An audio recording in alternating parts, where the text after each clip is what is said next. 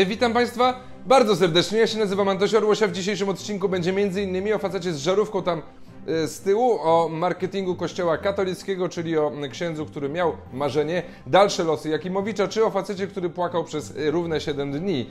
A nim zaczniemy, przypominam o subskrybowaniu i wspieraniu na Patronite. Przypominam również o bluzach Witam, które wciąż w sklepie Patronite można zakupić. A teraz co? No, zaczynamy. A zaczynamy, szanowni państwo, od problemu, z którym mierzy się cały Kościół katolicki, niemalże cały świat. Mówię niemalże, bo y, y, jednak większość ma to zagadnienie w no gdzieś. Otóż, co zrobić, żeby wierni nie odwracali się od kościoła? Co zrobić, żeby baranów w polskim kościele przybywało, a nie ubywało? Telewizja Polska powie, puszczajmy codziennie homilii papieża Jana Pawła II, Polacy oszaleją, to jest zajebiste! No i faktycznie, e, szanowni państwo, Polacy zwariowali. Oglądalność tych homilii była na niezwykle wysokim poziomie i to zupełnie nie dlatego, że puszczało się je między wydaniem wiadomości a pogodą. E, Politycy powiedzą, wpompujmy w nich pieniądze, to i się utrzymają i jeszcze nas przy stołkach będą trzymać. No i faktycznie ta zależność od lat dobrze działa. Wystarczy wspomnieć e, ostatnie pasadoble Kaczyńskiego u Rydzyka.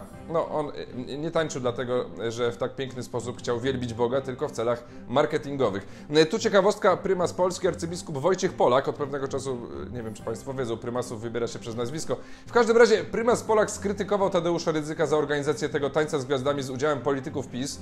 E, Jak zaznaczył, nie przypomina sobie, aby prawo kanoniczne zezwalało na użyczanie ambony politykom i dodaje, że Kościół to nie miejsce na wiec czy agitację polityczną. No, ciekawe od kiedy. No i dlaczego pan prymas nic z tym nie zrobi? Nie ukaże toruńskiego szamana za takie traktowanie sprawy. To, żeby było jasne, to z pewnością nie ma nic wspólnego z finansami. W każdym razie, szanowni państwo, wracając do problemu odchodzenia wiernych z kościoła, pytanie, czy w związku z tym zagadnieniem również kościół posiada własny marketing?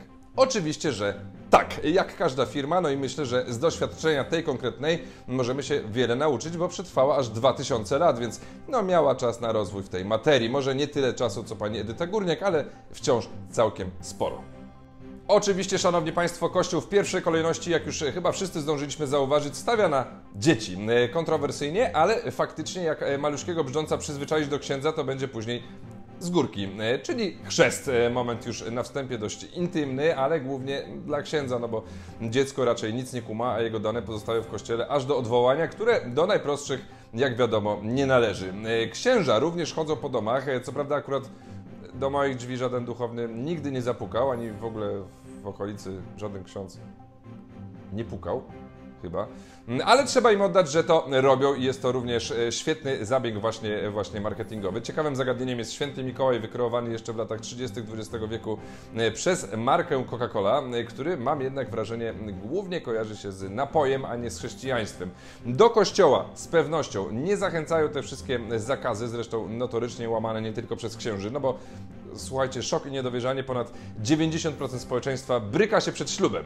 To może być dla Państwa szok, ale takie są fakty. Natomiast 60% księży utrzymuje intymne kontakty z kobietami. Tu pewnie wielkiego zaskoczenia nie było. O mężczyzn i dzieci lepiej nawet ich nie pytać, bo to przecież tylko taka e, chwilowa słabość.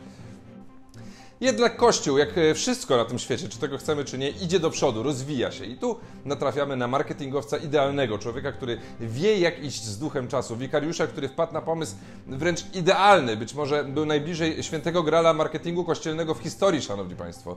Duchowny ten sprawił, że setki, jak nie tysiące młodych ludzi się nawróciło. E, Masowo ciągnęło ich do kościoła, do Boga. E, W diecezji łowickiej wikariusz Piotr S. został zatrzymany za, jak podają media, udzielanie substancji odurzających.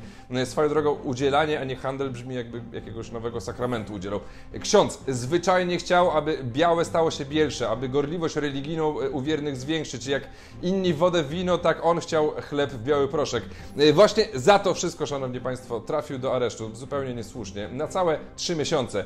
Szok i niedowierzanie parafianie nie mogą uwierzyć w to, co się stało. Prymas Polski mówi, że Kościół cały czas się oczyszcza, proszę państwa. Ja bym się jeszcze e, wstrzymał z takimi osądami. Nie wiemy, jaki poziom czystości posiadał proszek, także na spokojnie. A jeżeli podobnie jak ja, masz jakieś takie dziwne przeczucie, że możesz zostać posądzony o obrazy uczuć religijnych, to Fundacja Wolność od Religii od 1 sierpnia uruchamia infolinię dla osób podejrzanych lub oskarżonych o obrazy uczuć religijnych. Właśnie, będzie można otrzymać na niej bezpłatne porady prawników, którzy zajmują się właśnie takimi sprawami.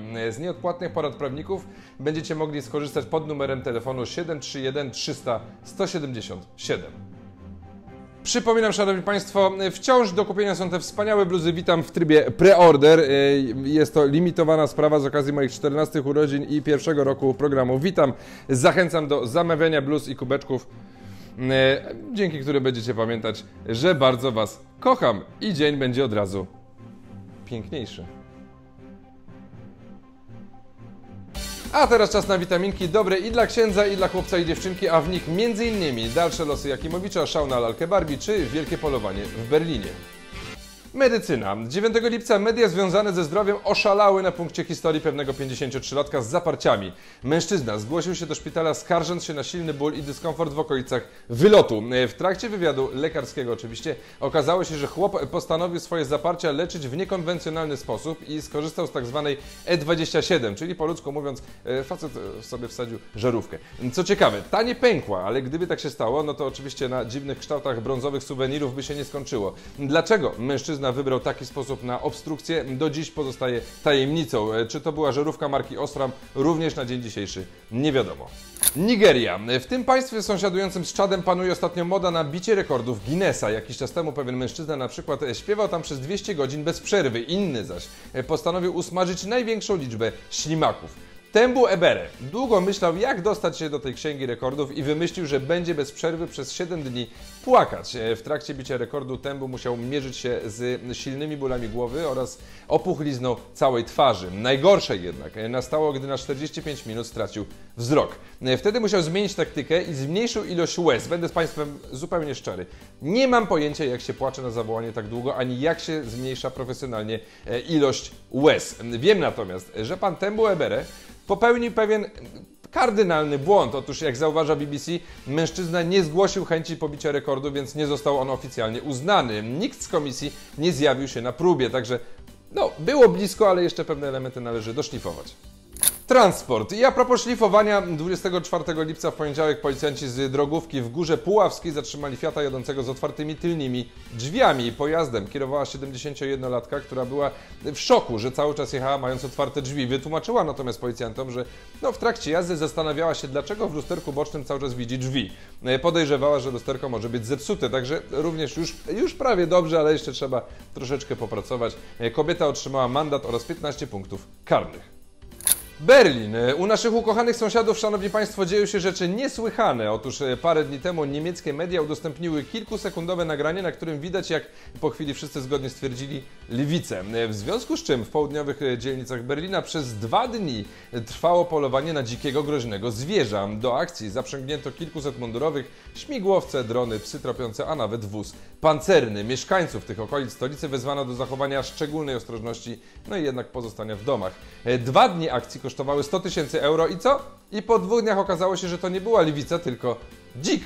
Niemieccy politycy już nazwali całą akcję najdroższym safari w historii. No i wyobraźcie sobie Państwo, co by się działo, gdyby Niemcy odkryli, że po polskich miastach biega nie jeden, a całe watachy dzików i wszyscy mają to w dupie. E, możemy się śmiać, ale prawda jest taka, że owszem, w Polsce myśliwi by natychmiast dzika rozpoznali, po czym omyłkowo by upolowali czyjeś dziecko. USA. Różnie dzieci reagują, normalna sprawa. Czasem jak nie chcemy kupić słodkości, to jest płacz, innym razem jak jest już dość zabawy, to jest awantura. Jednak musicie Państwo przyznać, że ten 10-letni chłopiec z Chicago odrobinę przegiął. Chłopak tak się wściekł, że wziął giwerę swojej mamy i zaczął strzelać po domu. Strzelał również do policjantów wezwanych na miejsce przez przerażoną matkę. Co ciekawe, robił to dalej, gdy na miejscu zjawili się funkcjonariusze oddziału taktycznego policji SWAT. Chłopak brawurowo wyszedł na balkon i zaczął do nich e, strzelać, tak po prostu, tak po ludzku. Chwilę nawet celował we własną głowę, po czym na luzaku wszedł z powrotem do mieszkania. Policjantom udało się na tyle wystraszyć chłopaka, że ten rzucił broń i udało się go obezwładnić e, w szpitalu. Dziadek chłopca wytłumaczył, że jego wnuk e, wściekł się, gdy jego matka poprosiła go, by posprzątał swój pokój. Urodziny. Kolejny wielki sukces PiSu dali 500, plus, zmuszały kobiety do rodzenia, a wszystko po to, żeby rodziło się więcej gówniaków. I tak, proszę Państwa, możemy to już oficjalnie potwierdzić, jest dobrze. W ciągu ostatnich 12 miesięcy w Polsce urodziło się aż 291 tysięcy dzieci, co jest najgorszym wynikiem w historii. Co ciekawe, gdy ruszał projekt 500 plus w 2016 roku, najgorsze prognozy nie zakładały aż tak złego wyniku, jaki mamy obecnie. No ale kto by się chciał w cyrku rodzić? Na Instagramie napisał do mnie użytkownik Sebastian Kuf w sprawie zbiórki dla pani Beaty Kośki. Pani Beata od lat zmaga się z nawracającą chorobą nowotworową piersi. Miała już aż cztery operacje związane z tym problemem. Teraz jednak marzy o tym, by móc zapomnieć o tamtych trudach i poddać się operacji odtworzenia piersi. Także e, zachęcam Państwa do wsparcia Pani Beatki e, i wsparcia tego marzenia. Link oczywiście zamieszczam w opisie odcinka. Celebryci. No przykro się patrzy, chociaż akurat nie mnie, e, na coraz cięższe życie Jarosława Jakimowicza. Dopiero co wyleciał z TVP za okropne traktowanie koleżanek w pracy, a już ma przekichany z innej strony. E, we wtorek, 25 lipca, Sąd Apelacyjny w Warszawie podtrzymał wyrok sądu rejonowego i nałożył na łobuza karę grzywny w wysokości 10 tysięcy złotych i 5 tysięcy złotych nawiązki na Polski Czerwony Krzyż za zniesławienie członków Komitetu Obrony Demokracji. Mm, a wszystko dlatego, że parę miesięcy temu Jakimowicz w programie Jedziemy zasugerował, że KOD płaci ludziom po 150 zł za udział w demonstracjach. Okazało się, że to szok i niedowierzanie. Nieprawda. Małe, a cieszy. E, przy okazji Jakimowicz ostrzegł internautów, że to, co teraz będzie się działo działo wokół jego osoby może być straszne i że będzie bronił Polski i chrześcijańskich wartości. Panie Jarku, kochany, no to co się działo i dzieje wokół pańskiej osoby od zawsze jest straszne akurat, a jeżeli to, za co pana wywalili z telewizji, to są te pańskie chrześcijańskie wartości, no to może już, może już lepiej odpuśćmy. Elon Musk myślał, myślał i wymyślił. Ten niesamowity geniusz i wizjoner właśnie ogłosił oficjalny koniec platformy. W Polsce lekkie poruszenie, ale spokojnie chodziło o platformę Twitter. Pan Elon, wiedząc jak bardzo aplikacja jest kochana przez kuców onanistów, właśnie zmienił jej logo i nazwę na X. Co więcej, do platformy kieruje teraz strona x.com. Logo, adres i nazwa kojarzą się jednoznacznie z portalami dla dorosłych, także być może nie jest to zwykłe pudrowanie trupa, a jakieś zakrojone na szerszą skalę kopanie dołu.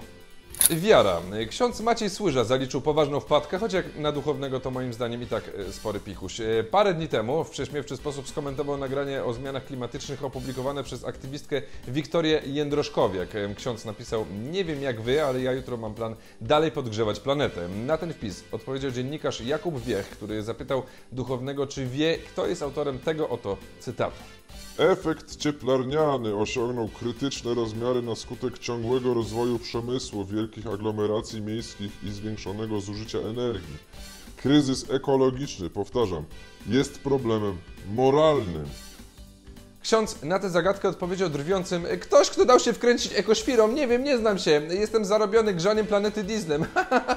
I w ten roztopiły się niebiosa i wielka żółta dłoń skarciła księdza Macieja Słyża, gdyż autorem tego cytatu był sam święty Jan Paweł II, ostatni z papieży i jedyny Polak. Kultura. Amerykański konserwatywny komentator Ben Shapiro poświęcił aż 43 minuty na zrecenzowanie filmu Barbie. W trakcie nagrania kilka razy podpalał słynne larki, a film nazwał delikatnie mówiąc stolcem albo psim stolcem ułożonym na szczycie całego śmietnika w ogniu wypełnionego psim stolcem na wysypisku śmieci. I jest to cytat. E, co tak wzburzyło e, w filmie pana Shapiro? Otóż uważa, że jest e, nieśmieszny i ma źle poprowadzoną fabułę, tak jakby scenarzyści nie mogli się zdecydować, czy nienawidzą Barbie, czy właśnie ją kochają. Jego zdaniem podstawowym założeniem filmu jest to, że mężczyźni i kobiety są po dwóch stronach i nienawidzą się nawzajem. I dosłownie jedynym sposobem na szczęśliwy świat jest ignorowanie przez kobiety mężczyzn ze wzajemnością.